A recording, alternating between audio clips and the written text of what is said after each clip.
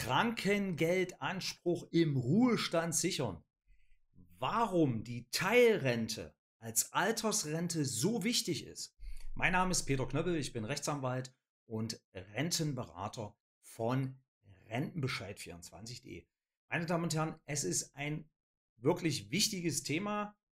Rente, Beschäftigung und möglicher Krankengeldanspruch. Und ich habe dazu eine Mail bekommen äh, von einem Herrn vom 26. Juni 2024 und der schreibt folgendes. Sehr geehrter Herr Knöppel, ich weiß ja nicht genau, ob es diesen Hinweis schon einmal von Ihnen gegeben hat. Ich habe bei der DAV eine 99,99% Teilrente beantragt. Wenn man dann noch weiter berufstätig ist, äh, hat bei Bezahlung des vollen Krankenkassenbeitrags noch Anspruch auf Krankengeld bei Krankheit über sechs Wochen äh, Entgeltfortzahlung hinaus. Mir ist das jetzt bei einer OP so ergangen und ich bin froh darüber. Vielleicht wäre dieser Tipp ein kleines Video wert. Natürlich, meine Damen und Herren, ist das definitiv ein Video wert und ich kann Ihnen auch nur sagen, meine Damen und Herren, die Altersteilrente ist wirklich wichtig, um den Krankengeldanspruch im Ruhestand zu sichern. Denn viele Menschen in Deutschland gehen ja im Alter noch arbeiten und sie beziehen eine Altersrente und den äh, Verdienst aus ihrem Lohn. Das heißt also, sie sind natürlich dann auch, also was heißt natürlich, sie sind dann über die entsprechenden Regelungen des Sozialgesetzbuchs Nummer 5 äh, äh, krankenversicherungspflichtig als Arbeitnehmer und bezahlen Krankenversicherungsbeiträge. Und sie wollen natürlich diese zwei Einkünfte sichern. Sie wollen ihren Lebensstandard sichern. Viele von ihnen brauchen auch das Geld neben der Rente, weil die Rente einfach zu niedrig ist.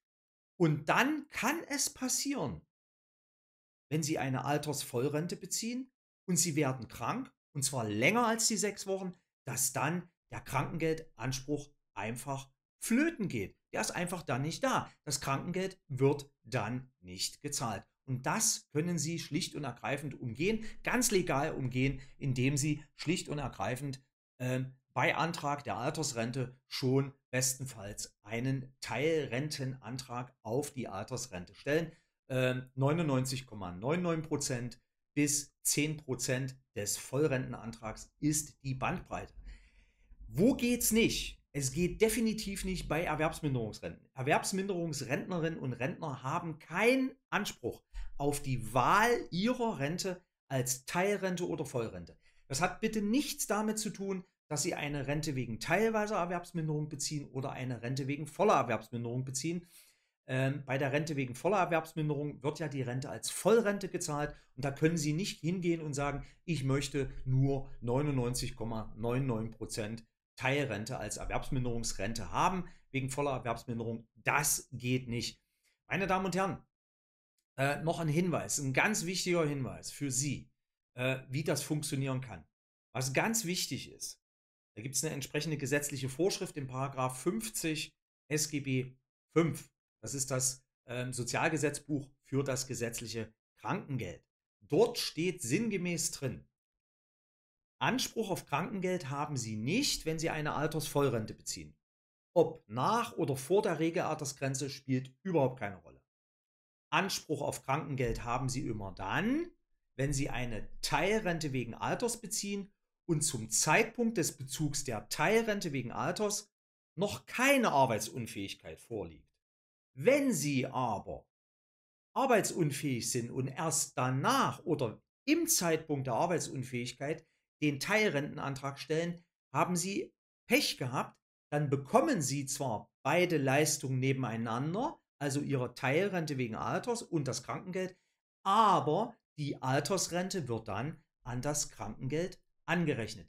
Wenn Sie aber eine Altersteilrente beziehen und erst danach krank werden, wird dann die Altersteilrente, meinetwegen 99,99 Prozent, nicht an das Krankengeld äh, angerechnet.